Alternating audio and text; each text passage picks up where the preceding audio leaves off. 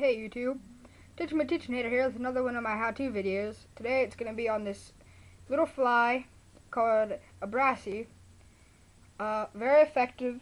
I've got many fish on this. Uh, you can do it in uh, a, wide, a wide range of colors. Uh, I use mainly red, but uh, you're supposed to use it in a copper wire, just like so, copper wire. Uh, you need some olive thread some regular, uh, right here, ultra thread, uh, this spool, right here, yeah, and, uh, you'll need some peacock herl, and you'll need a, uh, size, uh, it says you're supposed to use a size, uh, 14 hook, 14 to 18, I use a size 10, makes it a little bit more effective, but you can use whatever size you want. So here's how you start. You put it in your uh, just like. Can't see that. Just like that. And then you get your uh, olive thread, and you put it on with a jam knot, just like every fly. Bit on some twirls, and you you cover the whole entire hook shank, just till about a third of the way down the curve. Then bring it back up to the eye, just behind the eye. And back to there. You'll grab your scissors, snip, snip, snip off the excess thread, that aside. Then you will get six inch piece of ultra wire. Right here, six inch piece of brass wire. I use ultra wire. Very good, uh, made by UTC. It's an American company. Gonna pull out my tape measure here. Okay. Uh, six inches. Let's see. It's really hard to measure this because it's all bendy. Push that down.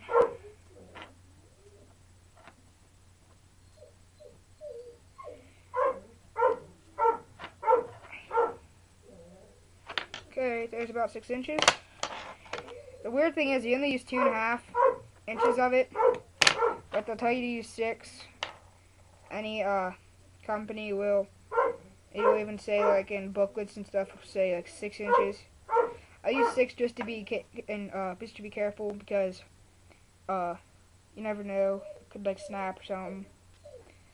But what you want to do is you want to put that right over the top of your hook and cover it in a good bit of thread and do that the whole way back until you meet your thread again. Sorry, I have a really crappy bobbin. But you just do that the whole way back until you meet your thread. About a third ways down the curve of the hook.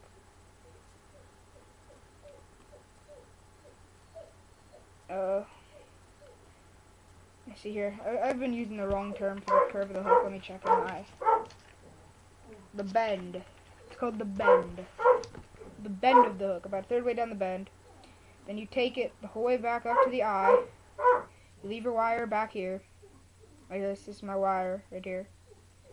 Then what you want to do, get your thread out of the way, hang it down and then just wrap the wire in close turns. Very close turns like run right after another touching the whole way up the hook. This is a very long process because the wire is very thin but it is a very effective fly it's okay to leave a small amount of space. That way it'll look more like a bug. It with like the little scaly things, whatever they're called. Shell. External skeleton. I leave about fraction of a millimeter in between. And then some parts I'll touch. and then you'll leave about two eye widths left in uh, just like regular thread. Almost up to the top.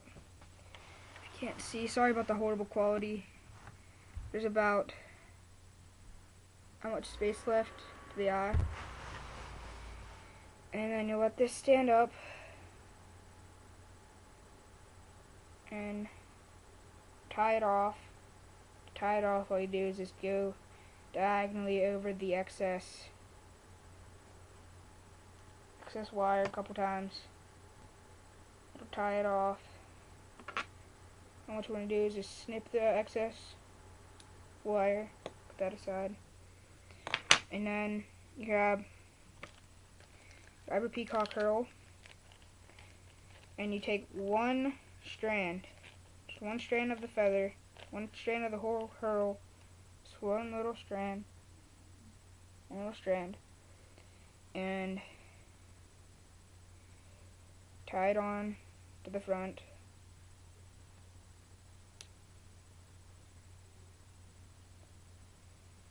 And I usually take my thread around the back so it gets out of my way. And I fluff the feathers down and make them like stand out more, make it look more like a bug head. And you just wrap it up to the eye and just wrap it back Keep wrapping it back and forth along the top of the hook. Give it a little head. And then once you think you have enough, I will take my wire back up to the top. And I'll tie on, tie in the peacock herl, rip off the rest. I don't even know I picked up my scissors. And then, uh, People say to use a whip finisher. Well, I don't own one. So today I'm going to show you a little trick. It's called a half hitch knot. And what you're going to do, put one finger on the line, bring it over, and then bring it over the line again. Put your fingertip right on the uh, eye, and just pull down, give it some tension, and then do several of those. And it's a, it's a, it's a very effective knot and uh, sometimes they'll come undone, but it's very effective if you don't own a uh, whip finisher. And uh, so I'll put some head cement on. That's what I'll do.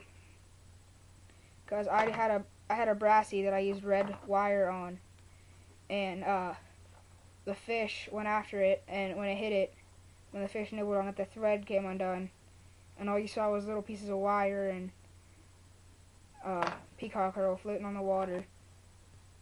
Okay, and then after you do that, I'll get my head cement just over here.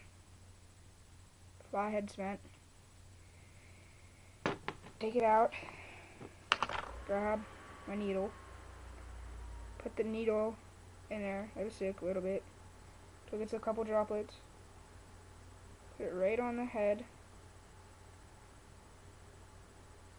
A whole peacock herl and then I'll put it along the body where the thread is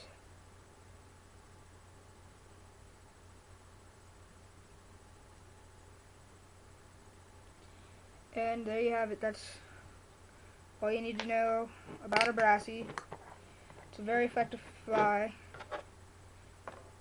snip my extra thread off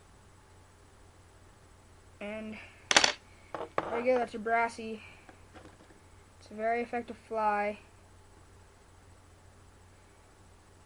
It's very good for uh, trout. And uh, if you did it well, it uh, should have a nice body. Nice body, nice head.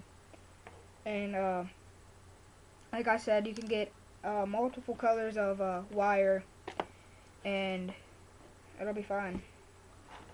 Thank you.